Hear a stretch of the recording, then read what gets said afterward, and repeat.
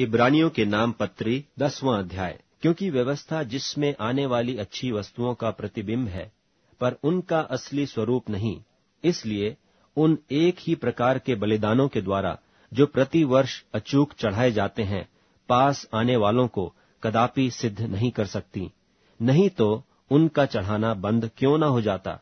इसलिए कि जब सेवा करने वाले एक ही बार शुद्ध हो जाते तो फिर उनका विवेक उन्हें पापी न ठहराता। परंतु उनके द्वारा प्रतिवर्ष पापों का स्मरण हुआ करता है, क्योंकि अनहोना है कि बैलों और बकरों का लोहू पापों को दूर करे। इसी कारण वह जगत में आते समय कहता है कि बलिदान और भेंट तूने न चाही, पर मेरे लिए एक देह तैयार किया। होम बलियों और पाप बलियों से तू प्रसन्न नहीं हुआ। तब मैंने कहा, देख, मैं आ गया हूँ। पवित्र शास्त्र में मेरे विषय में लिखा हुआ है, ताकि हे परमेश्वर, तेरी इच्छा पूरी करूँ। ऊपर तो वह कहता है कि न तूने बलिदान और भेंट और होम बलियों और पाप बलियों को चाहा, और न उनसे प्रसन्न हुआ। यद्यपि ये बलिदान तो व्यवस्था के अनुसार चढ़ाए जाते हैं। फिर यह भी कहता है कि देख, मैं आ गया हूँ, ताकि तेरी इच्छा पूरी करूँ। निदान वह पहले को उठा देता है ताकि दूसरे को नियुक्त करे। उसी इच्छा से हम यीशु मसीह की देह के एक ही बार बलिदान चढ़ाए जाने के द्वारा पवित्र किए गए हैं और हर एक याजक तो खड़े होकर प्रतिदिन सेवा करता है और एक ही प्रकार के बलिदान को जो पापों को कभी भी दूर नहीं कर सकते बार बार चढ़ाता है। पर यह व्यक्ति तो पापों के बदले एक ही बलिदान सर्वदा के लिए चढ़ाकर परमेश्वर के दहीने जा बैठा।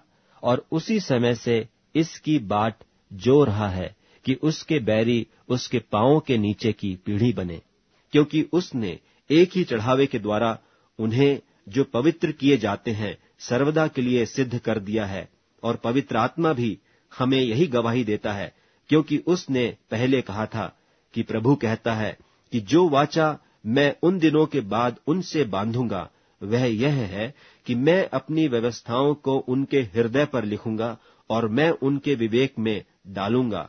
फिर वह यह कहता है कि मैं उनके पापों को और उनके अधर्म के कामों को फिर कभी स्मरण न करूँगा, और जब इनकी क्षमा हो गई है तो फिर पाप का बलिदान नहीं रहा। सोहे भाइयों, जबकि हमें यीशु के लोहू के द्वारा उस नए और जीवते मार्ग से पवित्र स्थान में प्रवेश करने का हिया हो गया है जो उसने पर्दे अर्थात अपने शरीर में से होकर हमारे लिए अभिषेक किया है, और इसलिए कि हमारा ऐसा महान याजक है, जो परमेश्वर के घर का अधिकारी है तो आओ, हम सच्चे मन और पूरे विश्वास के साथ और विवेक का दोष दूर करने के लिए हृदय पर छिड़काव लेकर और देह को शुद्ध जल से धुलवाकर परमेश्वर के समीप जाएँ और अपनी आशा के अंगीकार को दृढ़ता से थामे रहें।